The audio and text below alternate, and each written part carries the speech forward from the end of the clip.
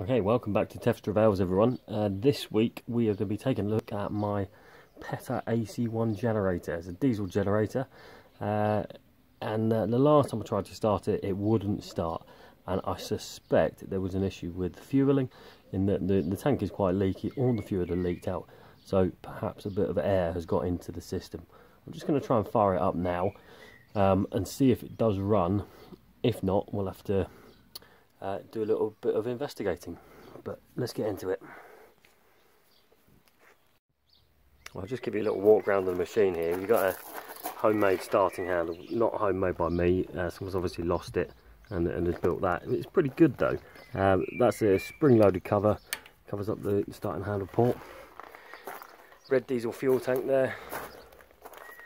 Uh, you got here. Uh, this this you're supposed to be able to take out uh, so you can drop a little bit of oil directly into the cylinder to increase the compression. Frankly, uh, I've never found that it needs any more compression. Um, if anything, it's uh, so difficult to start, it's the other way around. This is your decompression lever. Put that over to, uh, to decompress. Uh, air intake and filter there. Uh, down on this side you've got the fueling system. I think that is the, the solenoid and fuel pump and then up here underneath this cover you've got the uh, injector 110 volts on this side. Down here you got a, a switch uh, to select 110 or 240 as we've done in this situation.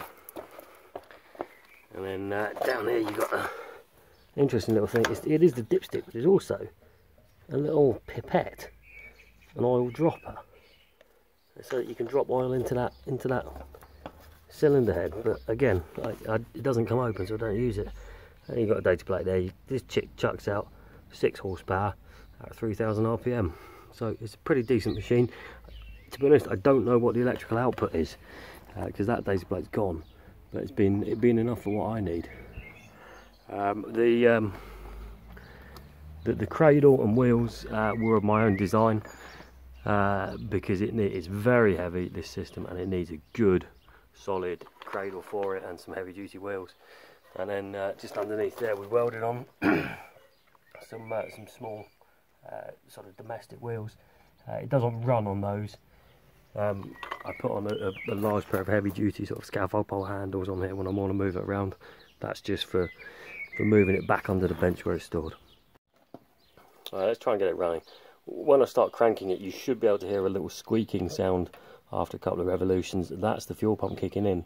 So if we hear that we're halfway there um, when it does start, you, you, won't be able to hear anything other than the, the engine because it's pretty loud, but it should go through a sort of uh, self-stabilisation test where the, the revs fluctuate up and down and then it will stabilise. Let's give it a go.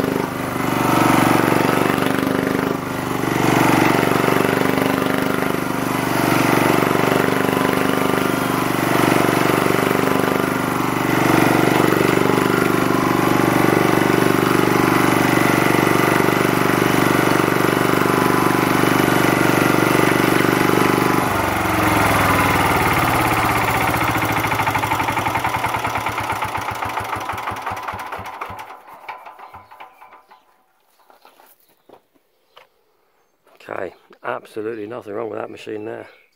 Uh, that fired up pretty much first turn uh, and uh, chucks out a decent amount of power. Certainly enough to run the drill and everything else I've ever tried to do for it. Um, the only reason I'm testing this today is last night we had a power cut and uh, half the street without electricity.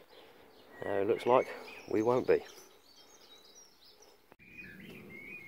Well, I'm quite pleased with how that went. I honestly thought we were going to have to start cracking fuel lines at the various junctions and unions and, and bleeding out the air. but it, it, would appear that the extra fuel I put in managed to find its way through somehow. Um, so thank you guys for coming along, watching a bit of Tef's Travails, and I will uh, play you out to the soundtrack of classic British engineering.